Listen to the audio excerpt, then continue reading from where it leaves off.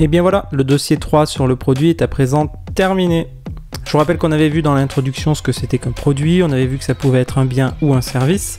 On s'était après intéressé aux caractéristiques, à la classification et au cycle de vie du produit. Je vous remercie pour votre attention. Je vous rappelle que maintenant dans la playlist, vous allez accéder à des vidéos supplémentaires, un pur bonus pour votre culture marketing. Je vous souhaite une bonne journée, à bientôt.